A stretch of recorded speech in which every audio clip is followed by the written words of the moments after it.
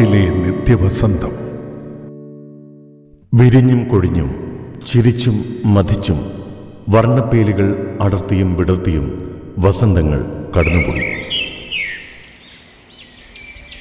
എൺപതിന്റെ നിറവിൽ തോപ്പിലാൻഡോ എന്ന സംഗീത പ്രതിഭ കടന്നുപോയ എൺപത് വസന്തങ്ങളെപ്പറ്റി ഓർക്കുമ്പോൾ കഴിഞ്ഞ കാലത്തിന് ചക്രവാളം തിരശ്ശീല നീക്കി തെളിഞ്ഞു വരുന്നു.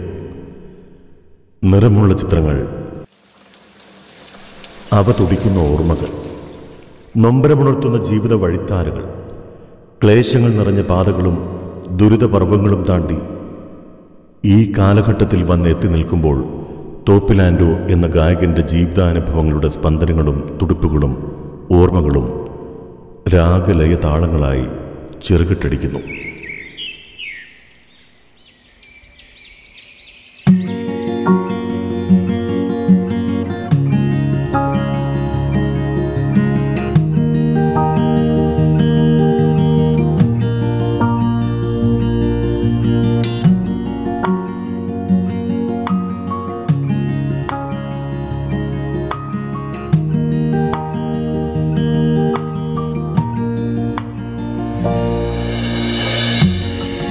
നാടകം എന്ന പ്രസ്ഥാനത്തിലൂടെ കടന്നുവന്ന് ഗാനമേള എന്ന ജനകീയ കലാരൂപത്തിന് പുതിയ മാനങ്ങളും അവതരണ ശൈലിയും നവസംസ്കാരവും സൃഷ്ടിച്ച് പിമ്പേ വന്നവർക്ക് മാതൃകയായി കാലത്തിന് മുൻപേ നടന്ന ജനകീയ ഗായകൻ ശ്രീ തോപ്പിലാൻഡോ ആറു ദശാബ്ദങ്ങളേറെയായി കേരളത്തിലെന്നല്ല ഭാരതത്തിലെ തന്നെ മലയാളികളുടെ ഹൃദയം കവർന്ന ഗായകനായി അദ്ദേഹം വിദേശ രാജ്യങ്ങളിലും തന്റെ ശബ്ദ സൗഭാഗ്യം കൊണ്ട് ശ്രദ്ധ പിടിച്ചുപറ്റി.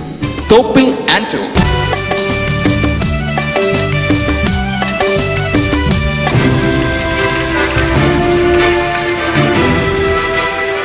ആന്റോ സർ ജോസ്കോ ഇന്ത്യൻ വോയിസിലേക്ക് സ്വാഗതം.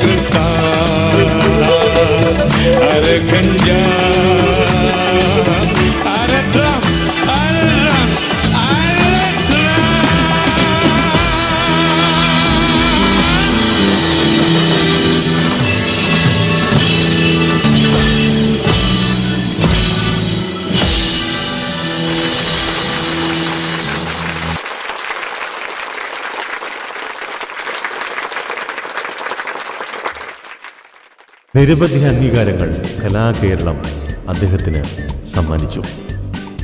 ആറ് ദശാബ്ദങ്ങൾ പിന്നിട്ട് ഇന്നിന്റെ കാലത്തിൽ നിന്നും പൊയ്പോയ ഭൂതകാലങ്ങളിലേക്ക് സ്വയം തിരിഞ്ഞു നോക്കുമ്പോൾ ഗതകാല സുഖദുഃഖ സ്മരണകൾ ഈ ഗായകനിൽ ആശ്ചര്യങ്ങൾ സൃഷ്ടിക്കുന്നു.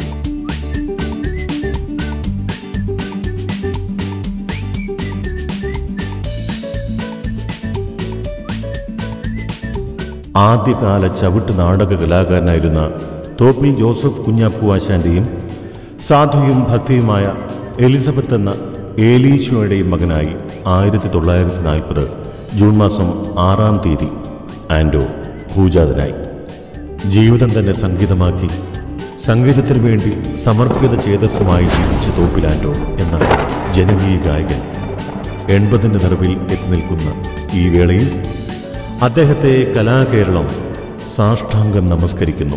അതെ തോപ്പിലാൻഡോ മലയാള സംഗീത ലോകത്തെ ഒരു പൂന്തോപ്പ് തന്നെയാണ്.